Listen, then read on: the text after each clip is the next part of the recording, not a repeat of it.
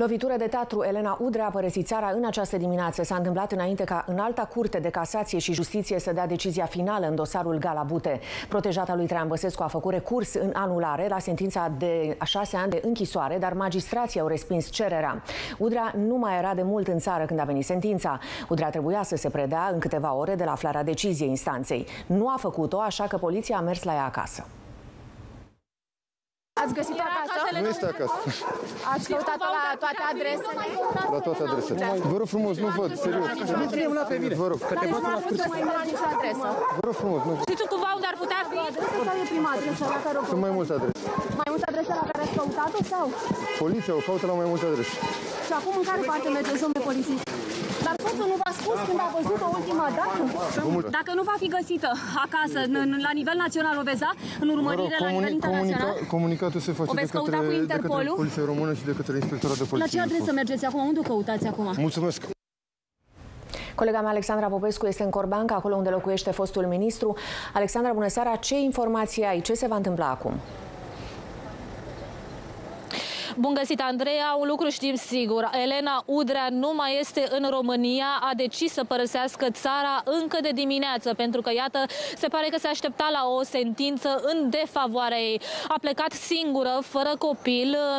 Cea mică a rămas acasă cu iubitul Elenei Udrea. Aceasta a plecat singură, nu se știe încă în ce destinație. Cert este că polițiștii au căutat-o astăzi la toate adresele imediat după ce în alta curte a emis emis uh, sentința de șase ani de închisoare cu executare pentru Elena Udrea.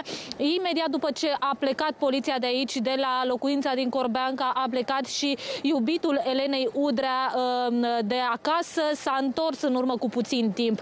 Vorbim așadar despre șase ani de închisoare cu executare pentru Elena Udrea. Uh, nu este prima dată când aceasta alege să fugă din țară.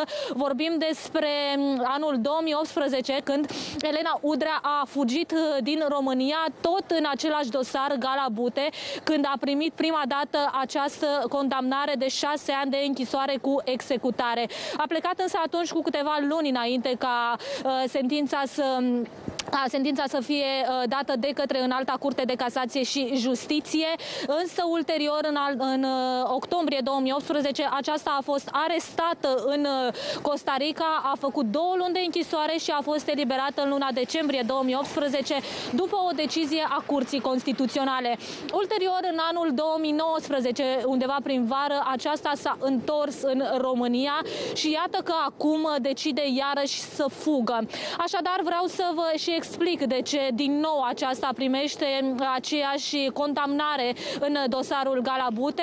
În anul 2018, Curtea Constituțională a decis că completurile de 3 și 5 judecători de la înalta curte au fost constituite ilegal. Așadar, mai multe condamnări au fost anulate, iar în cazul unor alte procese s-a decis ca ele să fie reluate de la zero.